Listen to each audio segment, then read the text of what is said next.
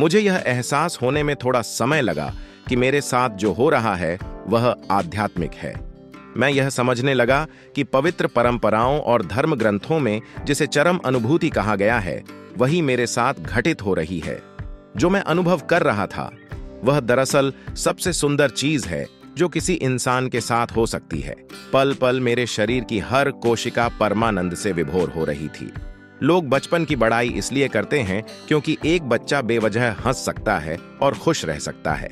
लेकिन मैंने देखा कि वयस्क जीवन में भी किसी के लिए परमानंद में रहना संभव है। यह हर इंसान के लिए है, क्योंकि हम जो कुछ भी अनुभव करते हैं, वह हमारे अंदर से ही घटित होता है। मुझे एहसास होने लगा कि मेरे शरीर में बदलाव असल में मेरी पूरी आंतरिक संरचना का पुनर्गठन था। मैं बारह साल की उम्र से हठ योग का अभ्यास करता आ रहा था। तेरह साल तक किया गया वह योग इस समय फलीभूत हुआ। योग दरअसल शरीर के पुनर्निर्माण का तरीका है, ताकि वह ज़्यादा बड़े मकसद की पूर्ति कर सके। मानव शरीर हार्ड मांस के एक टुकड्ढे की तरह भी काम कर सकता है और सृष्टि के स्रोत के रूप में भी इंसान को ईश्वरीय हस्ती में बदलने की एक पूरी तकनीक है। मनुष्य की रीढ़, हड्डियों की एक बेकार व्यवस्था भर नहीं है। बल्कि असल में यह ब्रह्मांड की घूरी है। यह बस इस पर निर्भर करता है कि आप अपनी शारीरिक संरचना को कैसे पुनर्गठित करते हैं। अपने मामले में, मैंने शारीरिक तीव्रता की स्थिति से आगे बढ़कर अपने शरीर को इस तरह से रखना सीख लिया, जैसे कि वह हो ही नहीं। इससे मेरा शारीरिक पहलू बहुत सहज हो गया। पहले, वह सारी तीव्रता मेरे शरीर में थी। लोग यह महसूस कर सकते थे कि अगर मैं किसी कमरे में घुसता तो इसका मतलब होता था कि कुछ करना है। लेकिन अब मैंने अपने शरीर को अलग तरीके से रखना सीख लिया था। और तब मुझे एहसास हुआ कि यह अनुभव जो मुझे हुआ है, यही असल में योग है। अस्तित्व और संपूर्ण जीवन के साथ ऐक्य और असीमता का अनुभव ही योग था। मैं हर रोज जो सरल योग आसन किया करता था, वे शारीरिक चुस्ती के लिए थे, या मैं ऐसा सोचता था।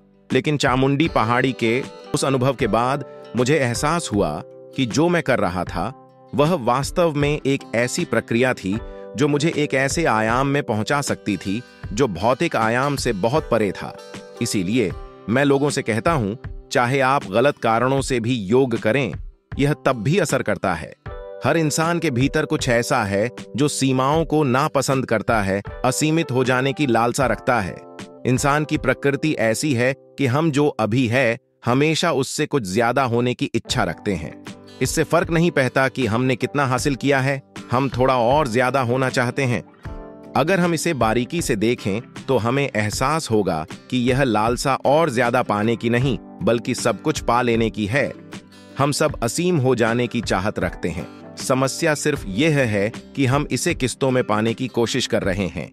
कल्पना कीजिए कि आप पाँच फुट गुणा पाँच फुट के किसी कमरे में बंद हैं।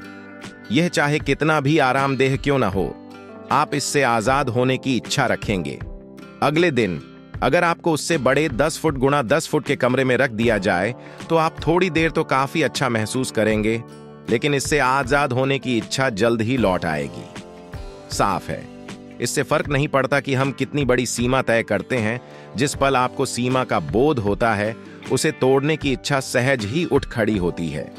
पूर्व के देशों में इस लालसा को सांस्कृतिक दृष्टिकोण से इंसानी गतिविधियों और प्रयास का सर्वोच्च लक्ष्य माना गया है। आज़ादी या मुक्ति या मोक्ष को हर इंसान की एक स्वाभाविक लालसा और चरम लक्ष्य के तौर पर देखा जाता है। मगर इससे बेखबर होने के कारण हम इसे किस्तों में पाने की कोशिश करते हैं। भले ही वह सत्ता, धन, संपत्ति प्रेम या ज्ञान का संचय करने के ज़रिए ही क्यों न हो? या आजकल वक्त काटने के सबसे पसंदीदा तरीके खरीदारी के ज़रिए। जिस पल मुझे यह एहसास हुआ कि इंसानी इच्छा किसी खास चीज़ के लिए नहीं, बल्कि असीम विस्तार के लिए होती है, मेरे अंदर एक तरह की स्पष्टता आ गई।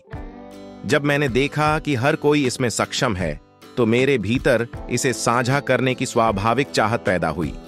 तब से मेरा लक्ष्य यही बन गया कि किसी भी तरह से इस अनुभव को दूसरे लोगों तक पहुंचाऊं, ताकि वे यह समझ सकें कि आनंद, आज़ादी या असीमता की अवस्था से उन्हें वंचित नहीं रखा जा सकता, जब तक कि वे स्वयं जीवन के सहज उल्लास में रुकावट न बने। चामुंडी पहाड़ी पर उस दोपहर के बाद से।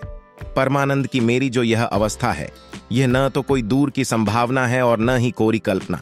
यह उन लोगों के लिए भी एक जीता जागता सच है, जो इच्छुक हैं। यह हर इंसान का जन्म सिद्ध अधिकार है। यदि आपको हमारी वीडियो पसंद आई है तो हमारा मनोबल बढ़ाने के लिए हमारे चैनल को सब्सक्राइब कीजिए, लाइक कीजिए, शेयर कीजिए और कुछ संदेश आप हमें देना चाहते हैं तो वीडियो पर कमेंट कीजिए। धन्यवाद।